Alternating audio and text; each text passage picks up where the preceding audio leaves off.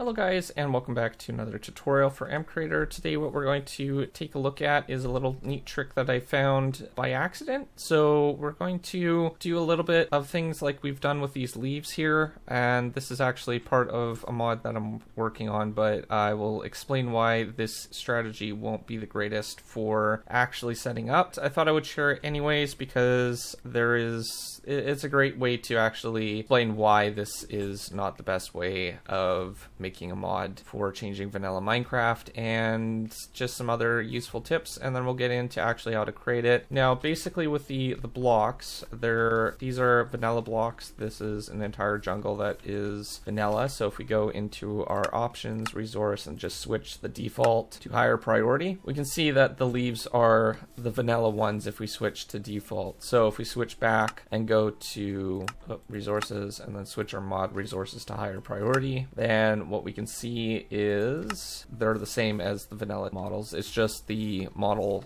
has a different model state. So we're going to be doing something like that. The reason why this is not great for actually designing something like this is because Minecraft already has a built-in system for doing that. And as you can see, if we go to resources, there is only mo one mod resources file and it says resources for two mods. So it's bundled under that particular one designated resource. That's not going to be useful for a whole bunch of mods that are trying to change the vanilla game. So I will cover how to make resource packs with MCreator in the future, but we're going to look at how to do it with mods, and basically that will help you guys kind of get used to what the JSON format is and kind of show you some insight what you can do with it. All right, so we are going to do a couple things. Uh, the first thing that we need to do is preparation, and we'll be making our model today and getting that all set up. And then what we'll do is we'll, next episode, what we'll do is we're going to work on the mod, getting that all ready and set up because there is some stuff that we need to do for that. And then the final one, we'll work on the JSON files and get that all configured for our mod itself. So there's three main tutorials that we're going to do. Today we're just going to do preparation and setting that all up. So you're going to need three main programs. The first one that you're going to need is Blockbench. You're going to need Notepad++ for editing the JSON files. And you're also going to need an archive program such as WinRAR or 7-Zip. I recommend using 7-Zip because they don't throw ads at you, but some people prefer them throwing ads at you. That's okay.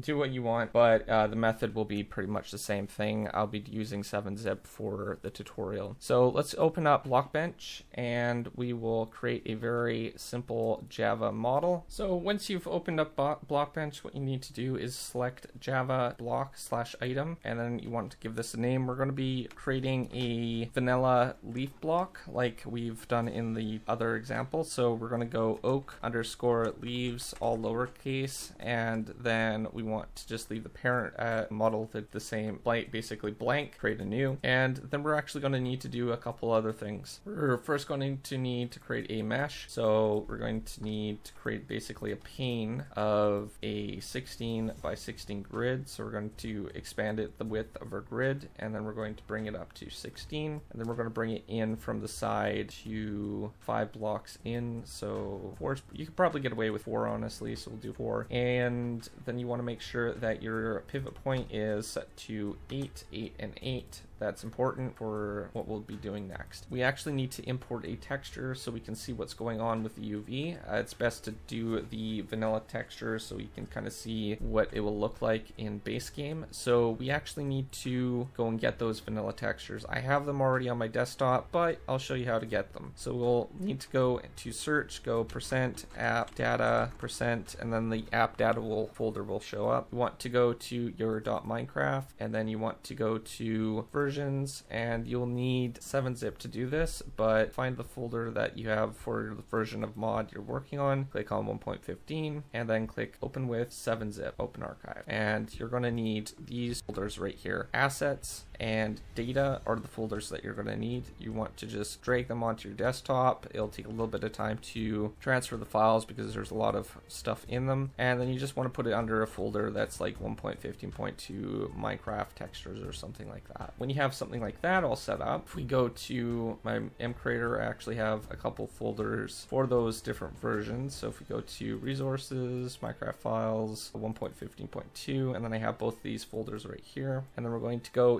into assets, Minecraft, textures, and then we want block, and then you want to search for oak logs or oak leaves, pardon me. And then when you find the oak leaves, you just want to drag that to your desktop so you can basically set it up in Blockbench. So what we're going to do is just import or import texture, select our oak leaves, and we're going to import it like that. And then we're going to assign our mesh, our texture. And as you can see, it's all just one solid texture. There's something obviously going wrong with that, and that's because it's just set up for one pixel right up here. To fix that, what you want to do is go to open the UV dialog to see all the next options, other sides and stuff like that. You want to click on the relative auto UV, and that will assign it basically all the different sides. Now, some of them that aren't being used will be assign textures as well, that's fine. Just make sure that you disable that next. So north is basically just one line, so we're going to disable north. We can do that by just clicking the X button right down here. That will disable it. South is not being used either, and neither is up or down, so we're going to disable those textures. As well. The next thing that you will notice is that the texture is not exactly the same as this one right here.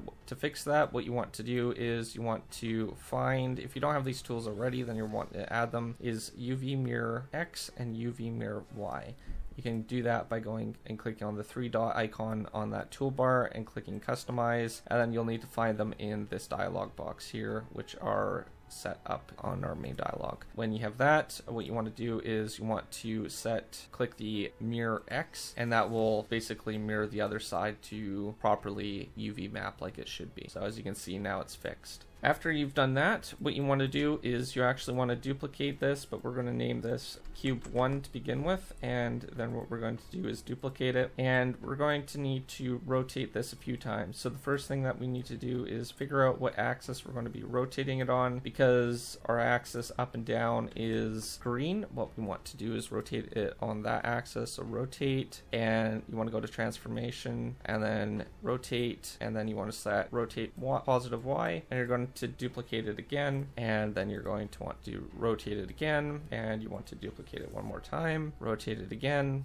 and you should have something like this. So when you have that, what we need to do now is rotate or create another one, and we're going to do the top and bottom, or we'll just have like a grid pattern like this, and that will look really good. So what we need to do is figure out the next rotation. We know that it's right here, but we are going to need to rotate it on the y-axis because we want to flip it this way, right? So y is the rotation that we're going to be flipping it or whatever red axis it is. So like that, and as you can see, we have it on the bottom, and we're going to duplicate it one more time. And then what we're going to do is we're going to actually flip or rotate this two times. So we're going to go rotate one and then rotate two, and then we have our texture like this, which is what I have in the actual example above or before we had. So when you have done that, what you want to do is you want to assign your texture. You can leave this part out if you want to. We'll be changing that later, but one thing to note is our variable is set to zero. It might be best just to leave it for the time being. I'll show you how to edit it later on. Make sure to save this project, save as, and then you want to save it as a Blockbench model so you can come back and edit it later. And then you want to export your model, export block slash item model, and then you want to export it to your desktop as well. And that's all there is for this particular part. I will be showing you how to basically get your model set up and then followed by that, the video after that will be showing you how to edit the JSON file to make it the leaves work or a mod. Outside that, if you're new to my channel, don't forget to subscribe, comment down below, rate the video, and I'll see you guys next time. Thanks for watching. Peace out.